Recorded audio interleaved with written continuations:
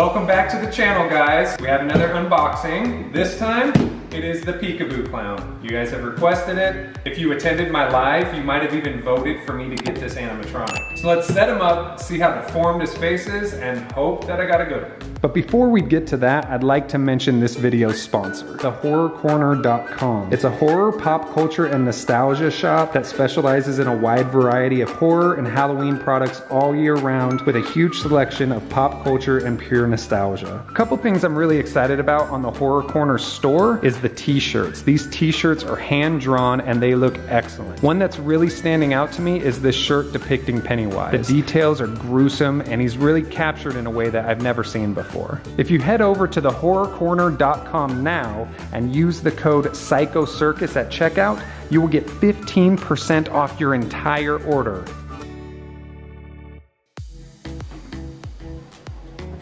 We have his instructions, and just as we did in the Uncle Charlie unboxing, we are not gonna look at them.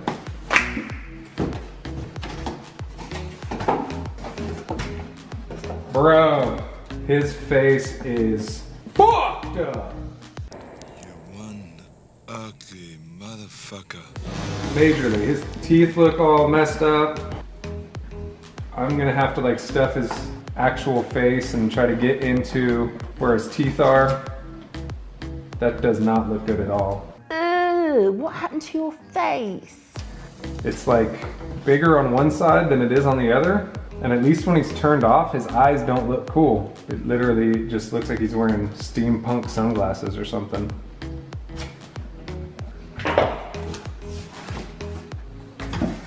It's probably a leg. It's probably his other leg. So one thing I did notice in his videos and when I saw him in the store is that his clothing seems like it was padded and it definitely is padded, which is like a different quality of clothing when it comes to Seasonal Vision animatronics. It seems to give him more of an actual body. Um, there's like a, a, piece of foam covering everything from well shoulder to foot really. So that's cool. I love his colors. The uh, green blue doesn't do you know too much for me, but I love the orange that sticks out. got his hat. I don't know why they still like continue to do these kind of hats because they rarely look good. Um, they usually fold them flat like this. Doesn't take up that much room to just make it so it didn't. Or even made it hard plastic or something so it wouldn't look all messed up with uh, creases in it. Neck ruffle, it's nothing to write home about. It's literally just a little neck ruffle with the Velcro pieces. These again are the same shoes that we are usually seeing from the clowns sold at Spirit. Um, but these are really cool. I like the color and I also like that they look dingy and dirty. I don't know if I've seen other shoes that look dingy and dirty off the top of my head. I have so many animatronics that sometimes they kind of mesh into one in my memory. Um, but that looks really cool. It's like a black paint that they've added onto it. So here's one arm. Here's his other arm. I'm probably going to set him up different. This is kind of how they have his arms where he's covering his eyes like this. I might do something that I don't recommend everybody else to do, and that's actually put a bend in this metal. Now it can weaken the metal, can break it, so don't try it at home, but I would like it where his hands were more like this, how people actually play peekaboo.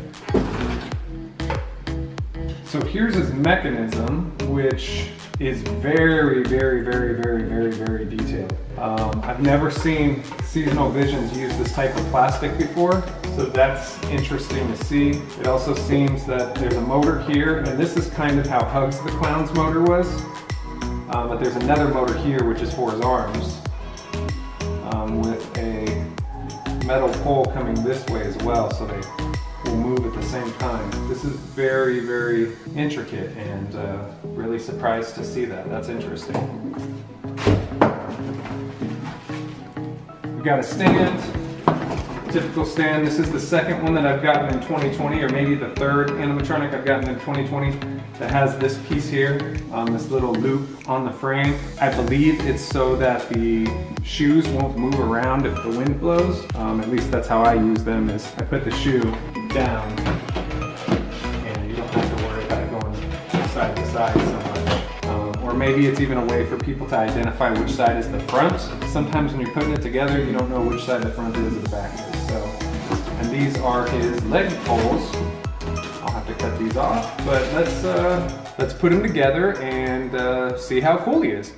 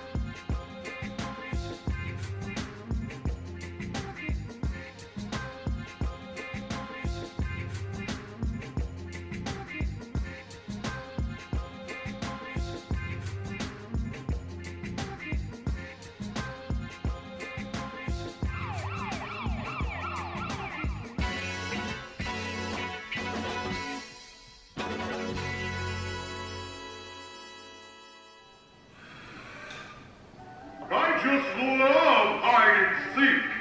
One, two, two and a half. Ready or not, here I come! There's nowhere to hide on Halloween night. We're all out to get you. Peekaboo! Peekaboo! I just love that game, particularly with crying little babies. I'm ready to play again.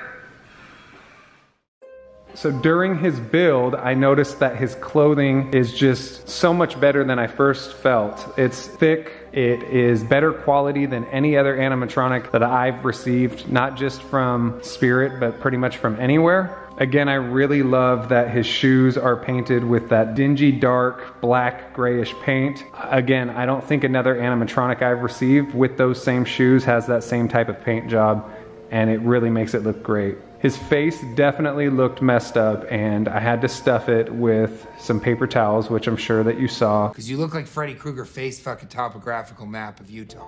Um, Not gently, like it was hate fucking. Still a lot better than when he first came out of the box. There was something wrong with the relationship, and that was the only catharsis that they could find without violence. Um, What? Um, child. Anyway, so I really love the color of his hair. It's the same material that you expect from an animatronic. It's not anything different. It doesn't look real, but the color is really good and it's unique. I only have one other animatronic that has blue hair, and that's like a light blue, but the color of Peekaboo Clown, his hair's really vibrant and kind of sticks out and makes him original. His eyes are absolutely incredible.